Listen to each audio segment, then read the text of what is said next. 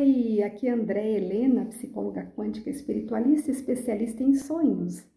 Mais uma vez aqui eu vou interpretar o sonho de uma desconhecida, só que ela é ressonante lá de Hélio Couto. E eu estava lendo lá a comunidade e às vezes eu vejo alguém postar algum sonho e, e tem alguns sonhos que me pega assim, falar, nossa, que sonho legal para a gente estar tá fazendo um trabalho em cima dele, tá bom? Porque, gente, é, eu, por que, que eu falo um trabalho em cima dele?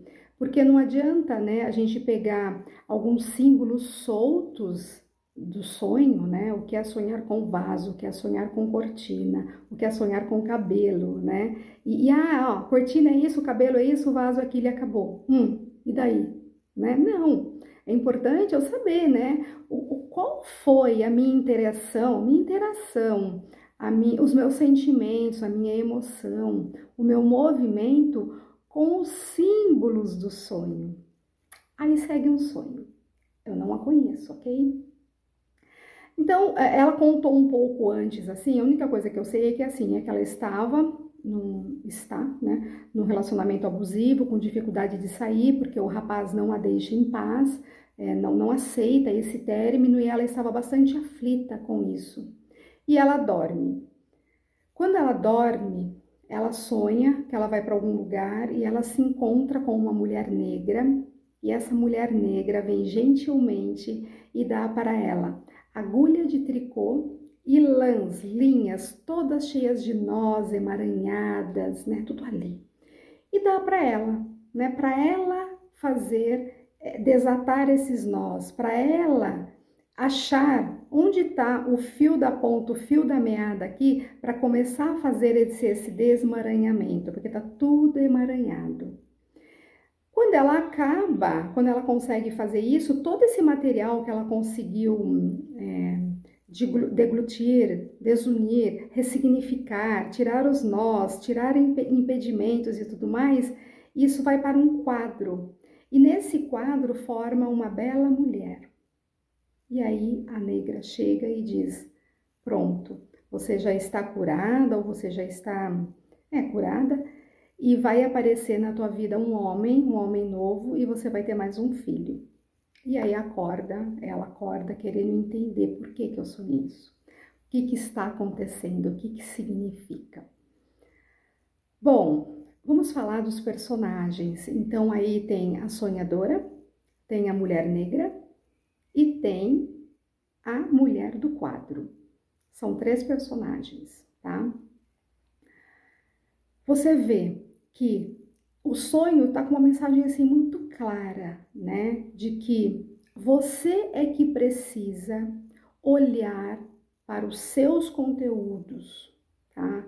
Você é que precisa pegar uma agulha, uma ferramenta. O que, que essa agulha, essa ferramenta pode ser? Pode ser a tua intuição, a tua compreensão, pode ser uma ferramenta de cura, Pode ser Ho'oponopono, pode ser uma psicoterapia, pode ser reiki, não importa. Você é que precisa fazer um movimento de encontrar uma ferramenta para você tirar todos os nós, todos os emaranhamentos, os impedimentos da tua vida, que nesse sonho fala da vida amorosa.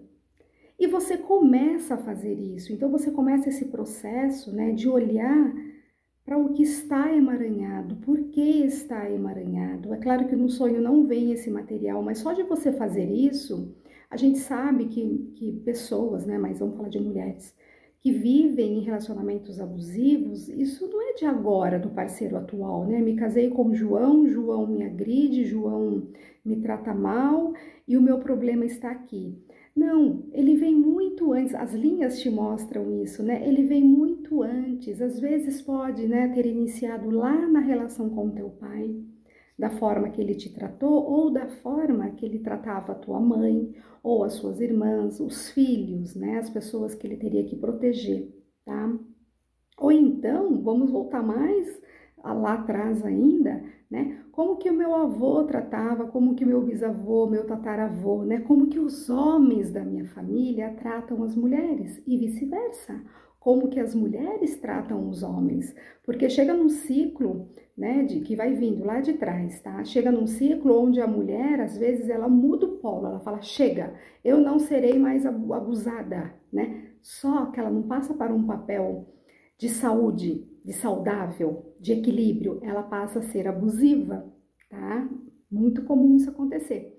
Então, o, o, todo esse emaranhamento da linha ali mostra isso, né? Você mexendo com essas questões do sagrado feminino, do papel da mulher na, na tua família. Você não tem noção, sonhadora, ter, ter sonhado isso, você se ajudou, porque isso era um, um produto lá do teu inconsciente. Sonho é isso, né? Produto do inconsciente. E você estava mexendo ali não só com a tua vida atual, com o teu presente. Você estava ajudando outras mulheres lá de trás e possivelmente, se você conseguir dar vazão para essa cura, né, buscar uma ajuda adequada, você vai conseguir também ajudar, além de você, mulheres também do teu futuro, tá? E aí, né, quando faz isso, parte linda, né, que quando é colocado mais organizado, ordenado, inteiro, não estava mais fragmentado, a mulher no quadro. Esta mulher no quadro é você, você mais, né? Estava ali sozinha, você estava já com aspectos de cura, de compreensão, de equilíbrio. Você vê que estava dentro do quadro, então está mais protegida, tá? Protegida por quem, Andréia? Por mim mesma eu, eu sonhadora, eu cuidando de mim mesma, eu abrindo a minha capacidade do auto-amor, auto-respeito, auto-cuidado, auto-proteção, eu consigo, né, colocar-me numa situação onde o perigo não vai chegar muito perto e se chegar, eu vou saber me proteger. Tá? É um sonho maravilhoso, é um sonho lindo.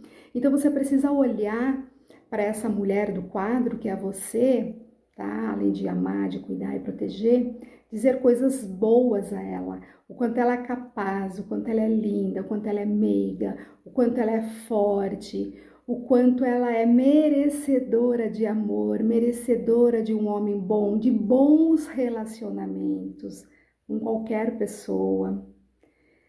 Então é um, um, sonho que quando eu vi ali na comunidade, eu falei assim, uxa, ele bateu aqui na alma. Eu falei, eu vou estar fazendo um vídeo sobre ele, tá? Porque é um sonho sobre o sagrado feminino. É um sonho que muitas mulheres sonham ou deveriam sonhar para poder curar ou deveriam compreender, tá? E você fez isso. Então a dica agora, né? Ah, parou ali só porque eu sonhei e curou? Não, não, né? O inconsciente ele te mostrou um caminho. Ah, né, tirei as lãs ali que estavam todas enroladas, as linhas. Não, ali foi um começo. Orai e vigiai, eu tenho que estar atenta a isso a todo momento. Cada vez que eu perceber que algo abusivo, algo que não me faça bem, que me desrespeite, que me anule, que me coloque lá embaixo, quando eu percebo que está chegando do meu campo, eu já fico atenta. Porque senão a linha vai se enrolar de novo. E eu vou me enrolar de novo nesse tipo, vou ficar emaranhada de novo nesse tipo de situação. Então, como eu já sei, o meu inconsciente, meu inconsciente, ele, ele, ele já projetou isso e eu, eu aqui, Andréia, decodifiquei para você, já está esperto. Você só precisa dar continuidade. De repente, buscar uma ajuda, uma psicoterapia, um grupo de mulheres, roda de mulheres, é, né, expansores de consciência, buscar um tipo de ajuda para te dar mais ainda condições de usar mais ferramentas para você sair desse ciclo. Tá bom?